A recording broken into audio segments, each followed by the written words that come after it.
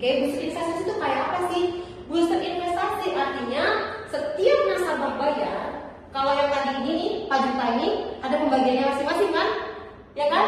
Nah, sekarang setiap nasabah bayar 4 juta, maka maka dari premi berkala, premi berkala berapa? 3 juta. Dari tahun pertama sampai tahun ke-10 waktu kamu bayar premi Prudential akan kasih booster investasi cuman kan nasabah akan pusing dengan kata-kata booster investasi. Anggap aja bilang bunga fix. Bunga fix. Sebesar 5% dari premi berkala. 5% dari 36 juta. setahun. Kalau bayarnya bulanan 4 juta kan? Berarti premi berkala 3 juta kan? Nah, setiap bayar 4 juta, dari 3 juta itu dapat 5 persen.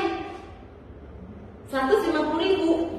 Dapat tambahan 150 ribu setiap bayar premi.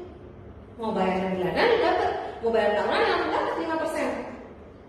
Sampai sini jelas? Masuknya ke Nilai tunai. Jadi ada tiga kantong, tuh dua tiga kantong booster investasi, premi berkala sama top up berkala. Sampai sini jelas? Jelas ya? Oke. Setelah tahun ke-10, kalau nasabah masih rajin bayar, nih, kan banyak orang bilang, gue mau bayar 10 tahun aja, 10 tahun aja, gitu kan ya. Kebanyakan orang seperti itu. Oke, kita lihat nih. Eh, Bu, Pak, Pak, kalau kamu bayar terus setelah tahun ke-10 masih bayar, dari tahun ke-11 sampai selama kamu bayar, selamanya bayar 20 tahun, 15 tahun, 30 tahun, 40 tahun, seterusnya, maka kamu akan mendapatkan bunga fix setiap kamu bayar premi. Bunga fixnya jadi 10 persen.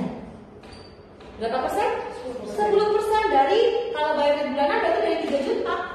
Berarti waktu bayar 4 juta, kan bayar 4 juta.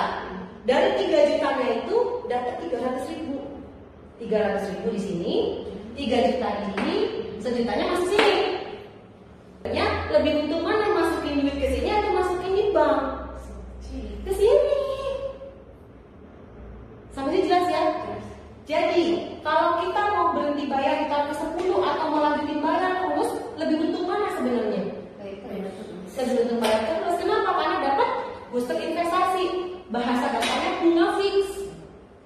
10 persen, tapi ini hanya ada di PGB, ruling generasi baru. Kalau PLA yang zaman dulu nggak ada. Masih jelas? Jelas ya? Nah, jadi kalau dia dari sini ya, dari biaya akuisisi sejak tahun kelima, sejak tahun keenam, kalau setelah habis tahun kelima, 100 persen premi berkala masuk ke mana? Nilai tunai. Kalau top up berkala, setiap bayar premi selamanya dipotong berapa persen? 5 persen. Kalau booster investasi, nasabah bayar premi, sorry, sorry. nasabah bayar premi, seka- setiap bayar di tahun 1 sampai 10 dapat berapa bunga fixnya? 5%. Kalau terus bayar, tahun ke-11 sampai selamanya dapat bunga fix berapa? 10%. Ini cuma satu-satunya di Indonesia. Gak ada yang berani kasih segini. Gitu. Kenapa sih Prudential keluarin ini? Karena kan dulu banyak bilang, aduh nilai tunai jelek, nilai tunai jelek gitu kan ya. Nah, maka dari itu Prudential keluarin namanya booster investasi. Makanya hashtagnya Prudential adalah eh, pasti dikasih lebih. Investasinya makin lama makin jadi, proteksinya sehat sekarang, aman sampai nanti. Nah, itu hashtagnya Prudential yang baru. Ruling generasi baru, hashtag pasti dikasih lebih. Pasti dikasih lebih karena kasih kasih ini. Terus investasinya makin lama makin jadi proteksinya am- sehat sekarang aman sampai nanti. Nah ini karena makin lama makin bagus. Jadi nasabah-nasabah di luar sana tuh harus ngerti makin lama bayar makin untung gitu. Bagus banget buat dana pensiun, dana pendidikan gitu. Sampai sini jelas? Ini duitnya kita ke mana ini sini? Selesai? Mana masukin duit ke sini atau masukin di bank? ke sini.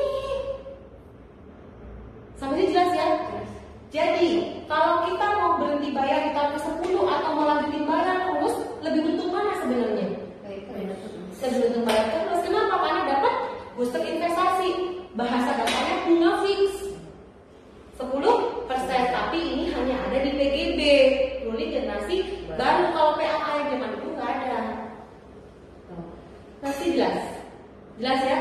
Nah, jadi kalau dia dari sini ya, dari biaya akuisisi sejak tahun kelima, sejak tahun keenam, sorry setelah habis tahun kelima, 100% premi berkala masuk ke mana? Nilai tunai. Kalau top up berkala, setiap bayar premi selamanya dipotong berapa persen? 5 persen.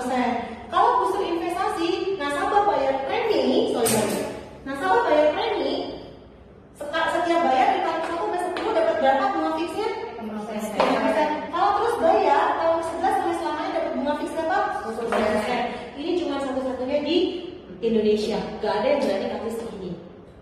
Gitu.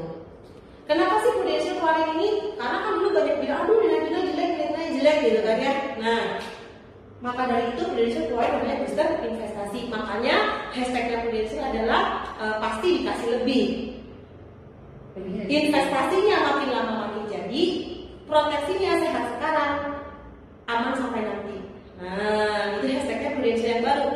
Ruling generasi baru, hashtag pasti dikasih lebih. Pasti dikasih lebih karena kasih ini. Terus investasinya makin lama makin jadi proteksinya am- sehat sekarang aman sampai nanti. Nah ini karena makin lama makin bagus. Jadi nasabah-nasabah di luar sana tuh harus ngerti makin lama bayar makin untung. Gitu. Bagus banget buat dana pensiun, dana pendidikan. Gitu. Sampai sini jelas? Ini duitnya kita ke mana ini di sini? Selesai? Nah, ini kan dari akuisisi-akuisisinya ya. Jadi akuisisi dari premi berkala 5 tahun, akuisisi dari top berkala selamanya. Ya. Nah, kemudian ada pusat investasi. Tadi biaya yang ketiga apa? Biaya asuransi, ya kan? Nah, biaya asuransi itu seumur hidup. Nah, bahayanya kalau orang-orang pengen ah 10 tahun berhenti bayar, 10 tahun berhenti bayar gitu ya. Oke, nggak apa-apa berhenti bayar jadi cuti premi. Nah, pertanyaan saya, si biaya asuransinya berhenti atau terus jalan? Jalan. Biaya asuransinya terus jalan sampai selama diproteksi, betul nggak sih? Kalau kamu udah berhenti bayar premi, berarti biaya asuransi atau cuannya itu diambil dari nilai tunai yang terbentuk. Lama-lama bisa habis nggak? Habis. Kalau habis bisa lapse nggak? Lapse gitu. Jadi jangan salah. Tahun ke-10 eh, berhenti bayar, ya boleh aja selama nilai tunainya mencukupi dan kalau savernya kamu dibesarin dari awal. Dan kesalahan agent-agent yang zaman dahulu, zaman dahulu adalah nanti 10 tahun balik modal diambil. Silahkan diambil gitu kan ya. Itu salah. Kalau diambil semua artinya itu polis. Manfaat gak berlaku lagi. Iya kan? Ngerti ya maksudnya? Gitu. Jadi eh, biaya asuransi itu akan terus ditagihkan selama diproteksi. Aku masih ibaratnya begini. Polis asuransi itu seperti. Oke, polis asuransi seperti rumah. Premi seperti cicilan. Oke, premi seperti cicilan. Nah, cicilannya misalnya gue bayar 20 tahun nih. 20 tahun. Oke, bedanya kalau cicilan rumah kan duitnya angus dapatnya rumah. Ya kan?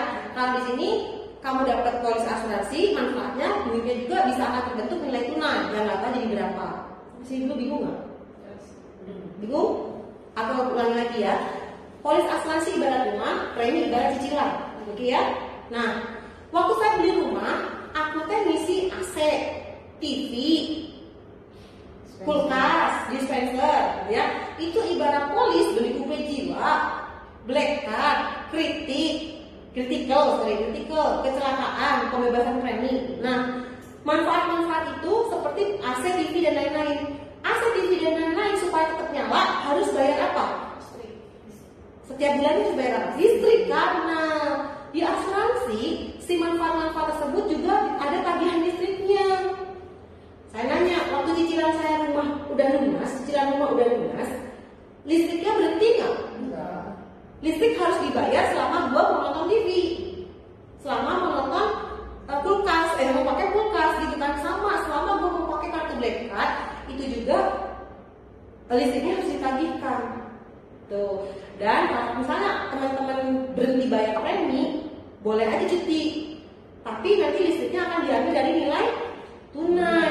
Lama-lama bisa habis, bisa lapse gitu. Jelas ya, makanya harus eh, 20 tahun misalnya gitu. Kurang lebih seperti itu lah. Kalau bingung